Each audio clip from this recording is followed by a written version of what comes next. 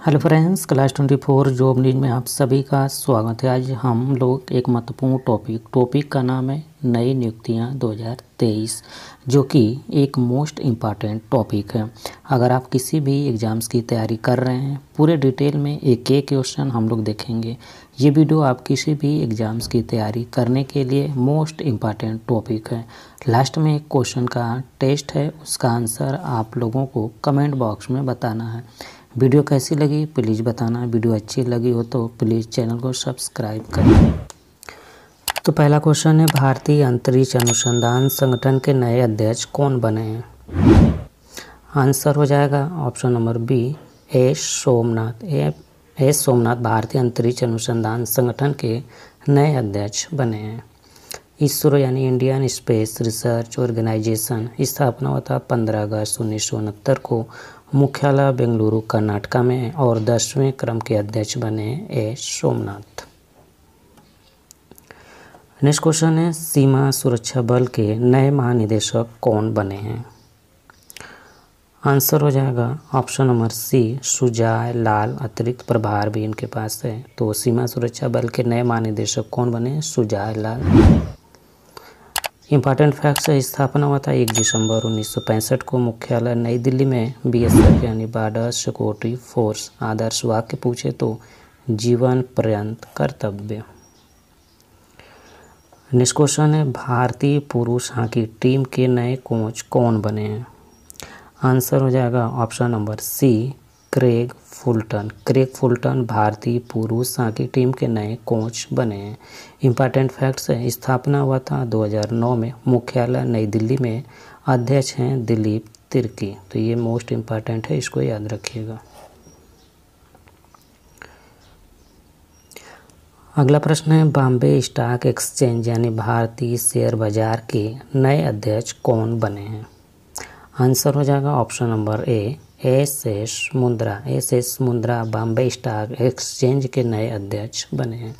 Important facts हैं BSF यानी BSC यानी बॉम्बे स्टॉक एक्सचेंज।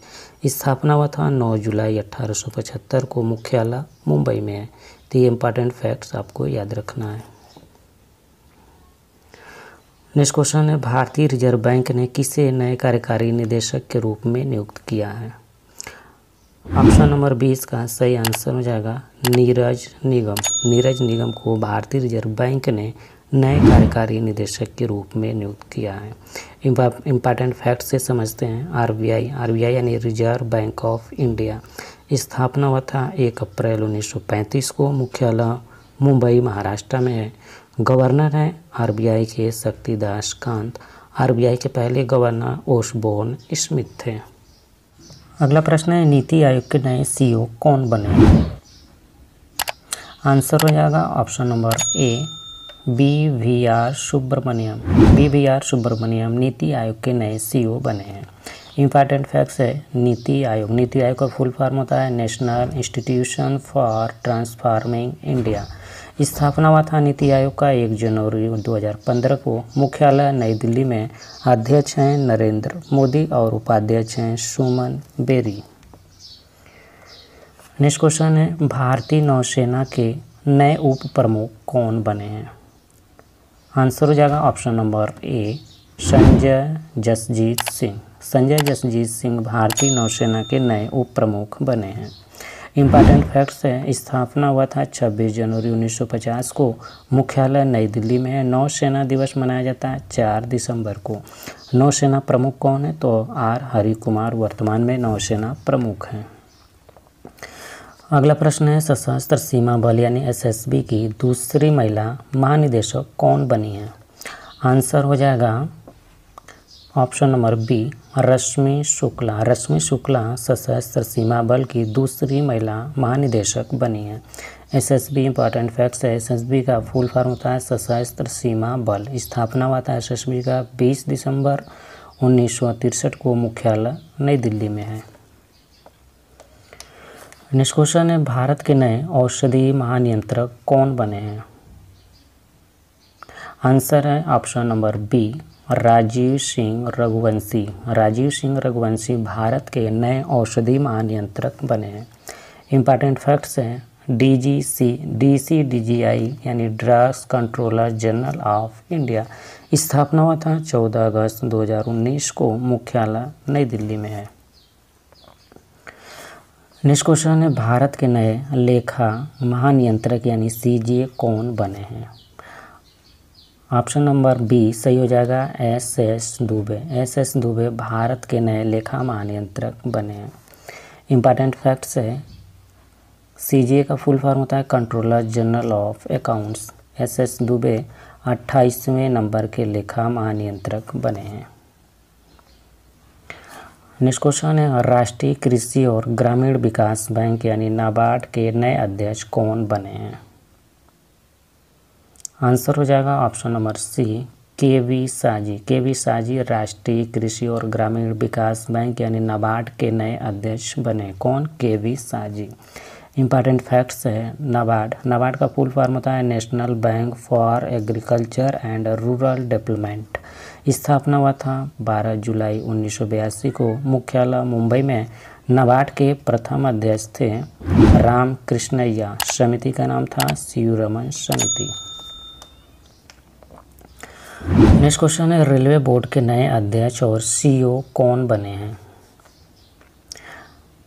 आंसर हो जाएगा option number A Anil Kumar Lahoti Anil Kumar Lahoti railway board के नए अध्यक्ष और सीईओ बने हैं. कौन? अनिल कुमार लोहाटी इंपॉर्टेंट फैक्ट से स्थापना हुआ था रेलवे का 16 अप्रैल अठारह सौ तिरपन में.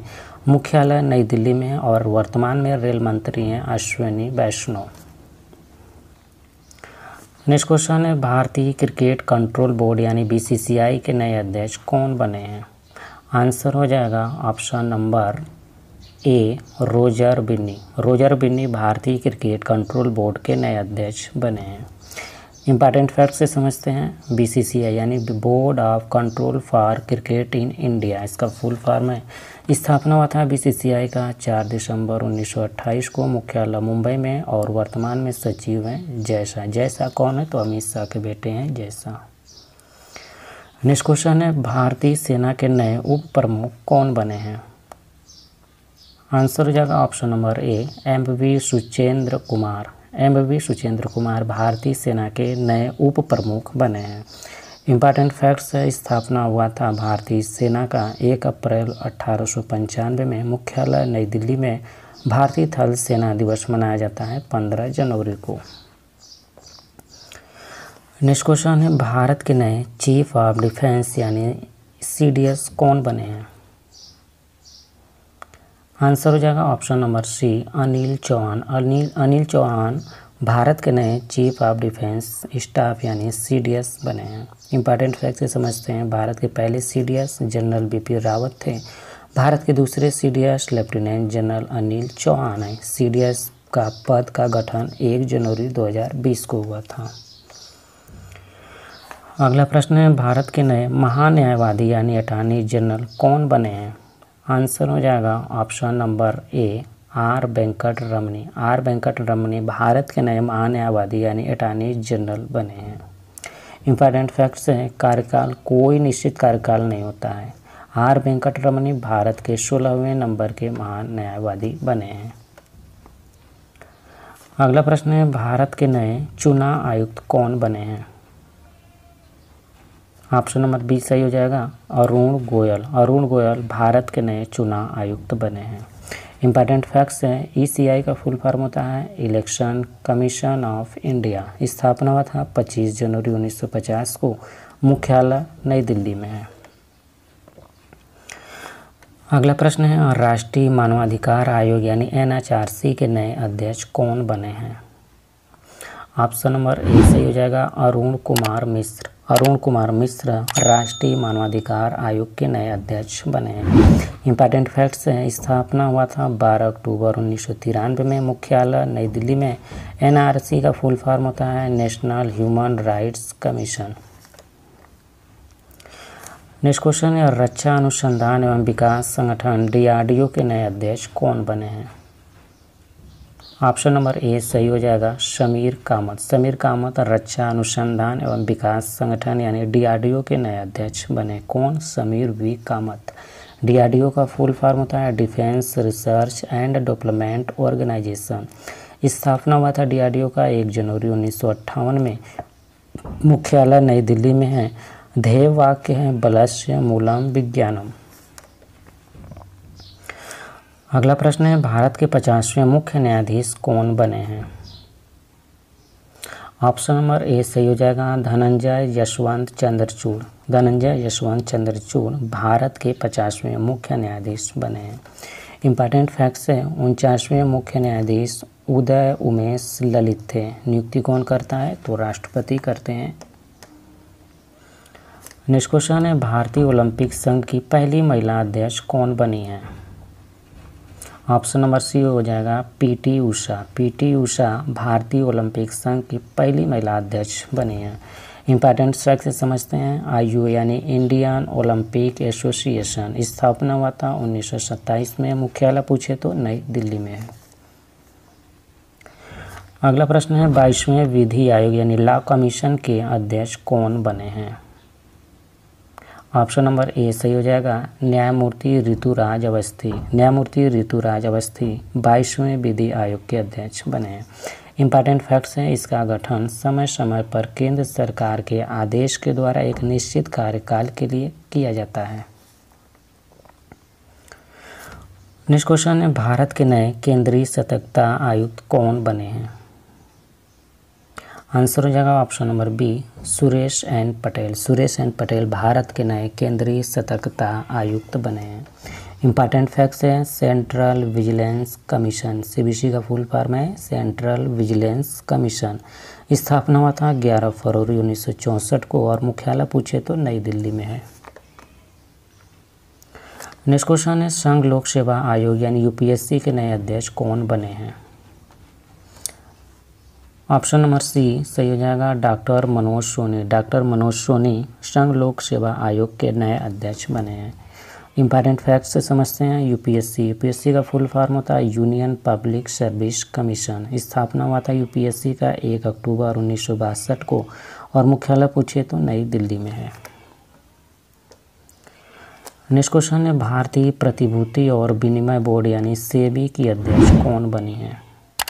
आंसर हो जाएगा option number A, Madhabi Puri Buch Madhabi Puri Buch भारतीय प्रतिभूति और विनिमय बोर्ड की अध्यक्ष बनी है। इंपॉर्टेंट फैक्ट्स हैं सेबी सेबी यानी security and exchange board of India, इसका फुल फॉर्म है। स्थापना हुआ था सेबी का 12 अप्रैल उन्नीस सौ बानवे में, मुख्यालय मुंबई में है। नेक्स्ट क्वेश्चन है, भारतीय वायुसेना के नए उप प्रमुख कौन बने हैं? आंसर हो जाएगा option number B, Amanpreet Singh. Amanpreet Singh भारतीय वायुसेना के नए उप प्रमुख बने हैं। इंपॉर्टेंट फैक्ट्स है स्थापना हुआ था आठ अक्टूबर 1932 को। मुख्यालय नई दिल्ली में वायुसेना दिवस मनाया जाता है आठ अक्टूबर को। नेक्स्ट क्वेश्चन है, भारत तिब्बत सीमा पुलिस बल के नए महानिदेशक कौन बने हैं? ऑप्शन नंबर बी सही हो जाएगा अनीश कुम, अनिश दयाल सिंह। अनिश दयाल सिंह भारतीय तिब्बत सीमा पुलिस बल के नए महानिदेशक बने हैं। नेक्स्ट क्वेश्चन है भारतीय वाणिज्य एवं उद्योग महासंघ के नए अध्यक्ष कौन बने हैं? ऑप्शन नंबर सी से हो जाएगा शुभ्रकांत पांडा। शुभ्रकांत पांडा भारतीय वाणिज्य एवं उद्योग महासंघ के नए अध्यक्ष बने हैं। कौन? शुभ्रकांत पांडा। अगला प्रश्न है, table tennis federation of India की पहली महिला अध्यक्ष कौन बनी है? आंसर हो जाएगा ऑप्शन नंबर डी, मेघना अहलावत मेघना Ahlawat table tennis federation of India की पहली महिला अध्यक्ष बनी है। कौन? मेघना अहलावत नेक्स्ट क्वेश्चन है, तेलंगाना की पहली महिला मुख्य सचिव कौन बनी है? ऑप्शन नंबर ए, सही हो जाएगा, शांति कुमारी। शांति कुमारी तेलंगाना की पहली महिला मुख्य सचिव बनी है। कौन? शांति कुमारी। तो ये टेस्ट है आपके लिए। इसका आंसर आपको कमेंट बॉक्स में बताना है। प्रश्न है, भारतीय पुरुष हॉकी टीम के नए कोच कौन बने? इसका आंसर आपको कमेंट बॉक्स में बताना है, ज़रूर। वीडियो अच्छा लगा तो प्लीज़ लाइक करें, शेयर करें। और जो लोग चैनल पर नए भी तो चैनल को सब्सक्राइब करके बेल आइकन को वहाँ रखें, ताकि आपको लेटेस्ट अपलोड वीडियो का नोटिफिकेशन सबसे पहले मिल पाए। थैंक यू फॉर वॉचिंग आपका दिन शुभ